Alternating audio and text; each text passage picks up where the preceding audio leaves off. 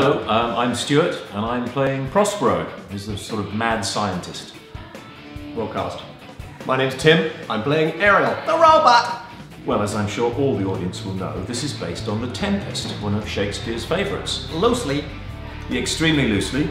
You name it from the 60s, it's probably in it. I think there are 37 separate numbers. So far, I've only fallen over two or three times. It's fun. I think it adds a nice spice to the show. Our insurance doesn't cover lots of movement.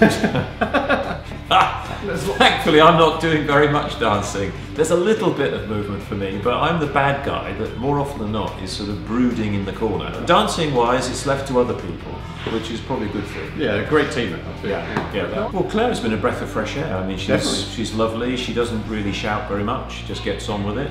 We've actually got eight dancers plus movers. Mm. I don't recall eight movers, I seeing as many people on stage moving and dancing. Certainly not as many dance numbers as we've had in this No. one, and they're all very busy. Yeah, they are it's very gonna be a really exciting show to watch. I Yeah, think it's going to be great. Yeah.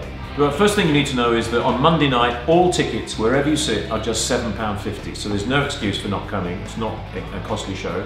If you want to book, you can book in three ways online, through our website, www.waos.org, or you can book through the telephone line, or you can go to Witham Town Hall and book directly there. So, come and see WAOS's production of Return to the Forbidden Planet.